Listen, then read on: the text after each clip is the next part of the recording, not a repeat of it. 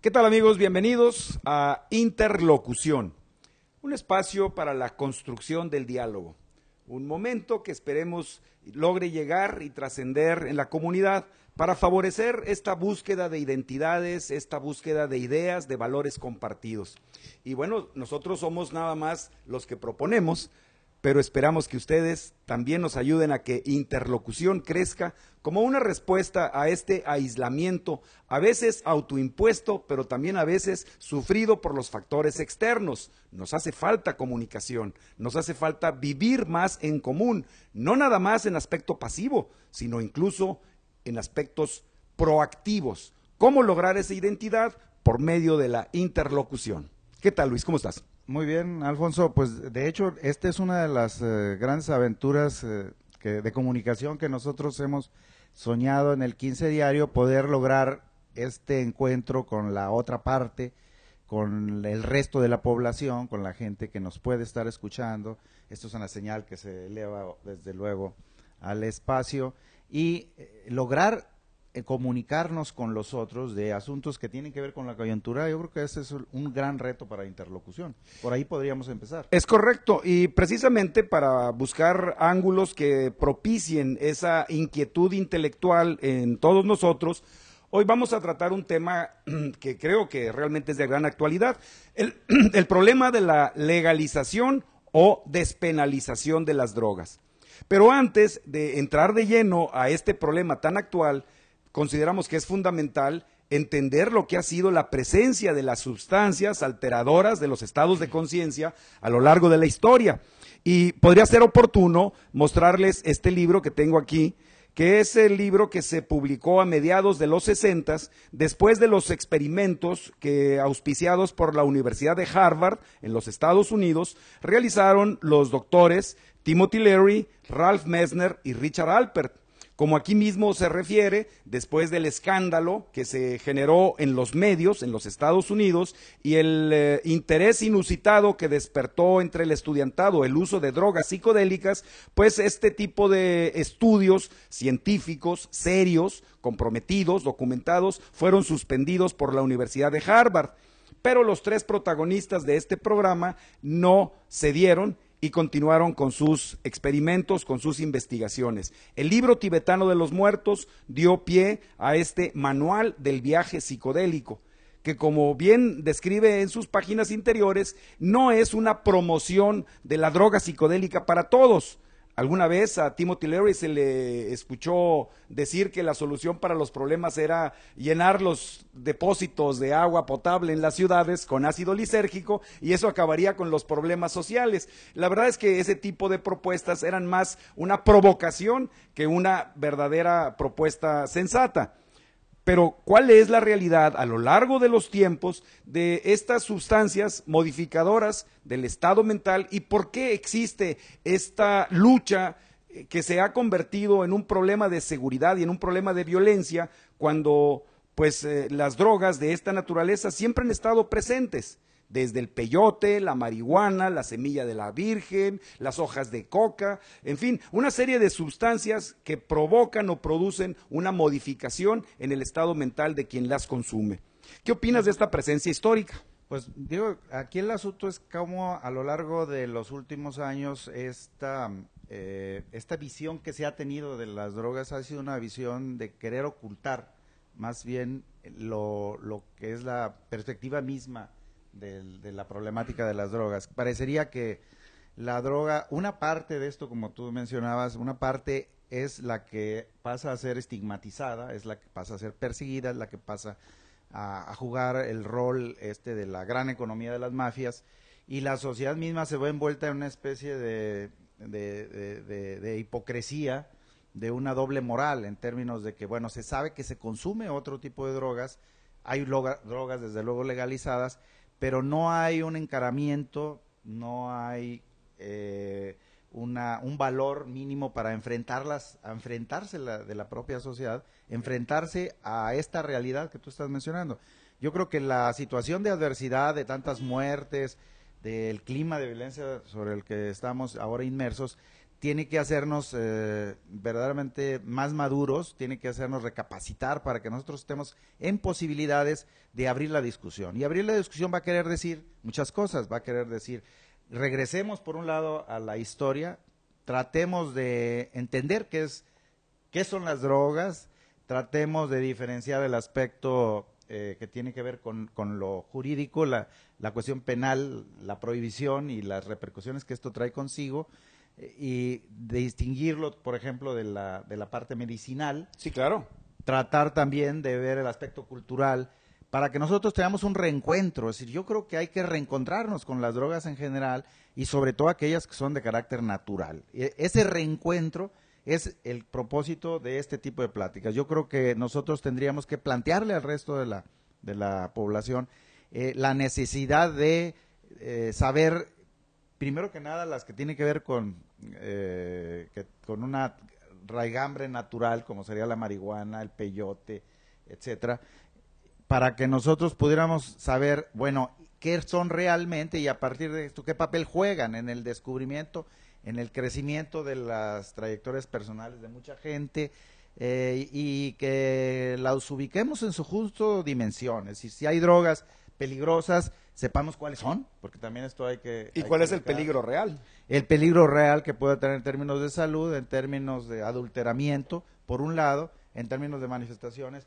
y también el peligro real que puede estar presente en que nosotros sigamos funcionando eh, con este grado de eh, este, ocultamiento, porque eso hay mucho. Si no, no tenemos una idea clara de cuál es el valor científico de cada uno de estos de estas drogas y, desde ahí pues tenemos un punto de partida bastante limitado.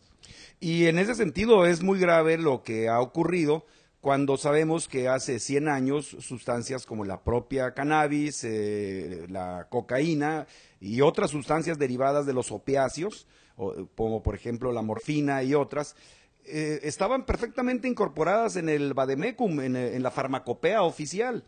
Freud, Sigmund Freud, todo el mundo sabe que era un cocainómeno, pero nadie lo consideraba un drogadicto. Y fue hasta ya muy avanzado o ya avanzada la segunda década del siglo XX cuando empieza la legislación a poner cortapisas al empleo de ciertos recursos procedentes de la medicina tradicional o de la medicina natural. Pero aún en ese esquema, nadie en sus cinco sentidos propondría que fuera erradicado el cultivo de coca en los Andes, en donde forma parte de una cultura y de un modo de vida perfectamente eh, en simbiosis por eh, la altura en la que viven los indígenas y la falta de elementos nutritivos, en donde la propia hoja de coca masticada es uno de los elementos de su supervivencia.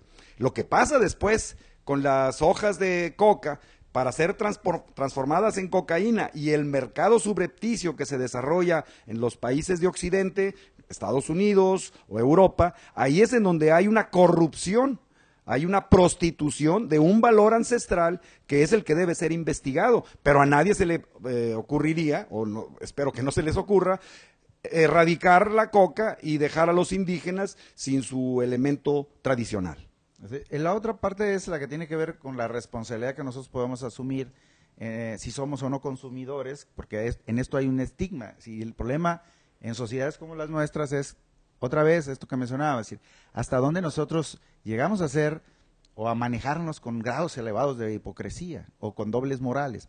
Una de las cosas básicas es, hoy se ha ganado mucho, y esto lo hemos visto con ejemplos de sociedades específicas, eh, el aspecto de la diversidad y alguien me decía, bueno, parece ser que es más fácil ahora ya reconocerse ser homosexual que ser marihuano o que ser consumidor de drogas, porque hay en esto un prurito que antes, pues tú sabes, había un estigma cuando determinada orientación, determinada forma de ser, y en este caso determinada forma de consumir eh, sustancias, sí, sí. puede ser motivo de, de este, de, despido en un trabajo puede ser simplemente el, estigma sobre el que se puede estar pensando que alguien pone en la discusión el asunto de la, de la legalización o despenalización de las drogas.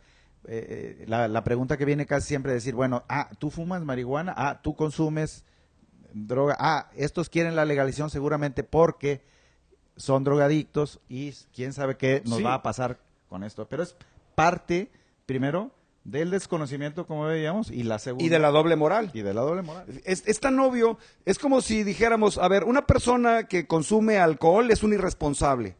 Y para eso entonces decimos, no, es que bebe socialmente es otra figura. ¿Verdad? Bebe socialmente. Sí, sí bebe, pero bebe socialmente. Y no existe la posibilidad de que la persona fume socialmente, según esto. Yo me acuerdo del chiste aquel, para ir desmitificando la conversación, del que le dijeron, oye, va a haber carrera de motos, tráete tus tenis, ¿no? Y le dijeron, ¿y tú manejas moto? Sí, es como manejo mejor, dijo. Son chistes ya dentro de la subcultura de la marihuana, como el otro del pasajero que iba a salir eh, a un viaje al extranjero y ya no iba a poder llevar su dosis, y entonces al momento del despegue del avión, la aeromoza encuentra que, que falta el pasajero en su, en su asiento y no lo encuentra en la escalerilla dándose sus últimos eh, churritos, sus últimas fumaditas, y le dice, señor, pase a su asiento porque el avión ya se va. Y entonces este, en, en, el punto de la bachita, le dice, oiga, ¿a qué altura va a volar el avión? Dice, diez mil metros, señor. Oiga, ¿y a qué velocidad va a viajar? A mil kilómetros por hora mientras le está fumando los últimos, eh, ya quemándose las uñas, tú sabes de eso. Y entonces le dice el, le dice, adelántense, ahorita los alcanzo. O sea, se puede hacer un uso responsable de los elementos que están en la naturaleza. ¿Cómo prohíbes la naturaleza en primer lugar? El, problema es que también hay, una, hay un problema cultural contra el placer. O sea, para el sistema no es viable que la gente sea feliz con un elemento que puede ser gratuito. Ese es un hecho.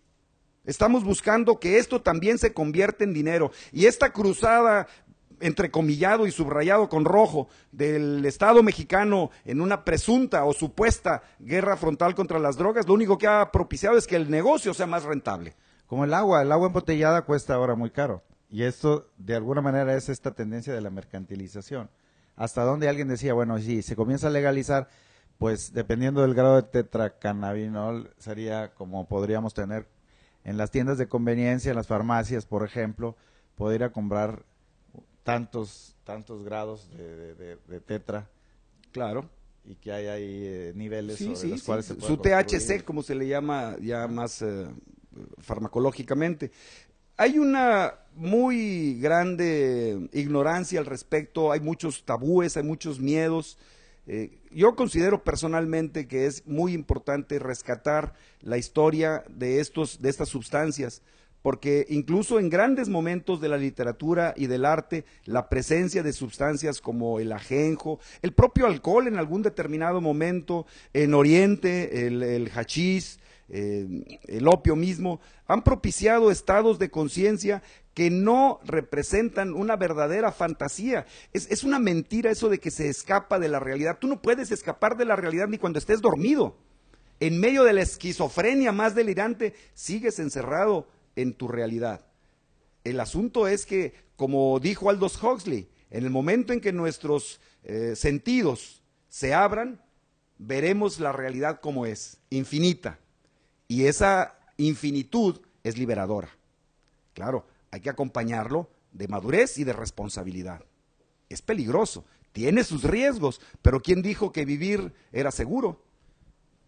Bueno, yo creo que esta, este programa inicial de interlocución tendría que estar retomando de nueva cuenta todos estos aspectos a los que has aludido, el aspecto médico, por supuesto, el de la seguridad, la criminalización, etcétera, el aspecto cultural también. Básicamente. Básicamente lo, lo que podría posibilitar que surgiera una sociedad más fortalecida después de liberarse de esta tara, esta gran tara que significa hasta ahora estar ocultando eh, la verdad, las verdades, porque no hay una sola, sino las verdades en torno a el consumo de las drogas. Pues yo creo que eh, esto nos da pie simplemente, esta es eh, programa introductorio a otros que vendrán después en torno al asunto de las drogas. Claro.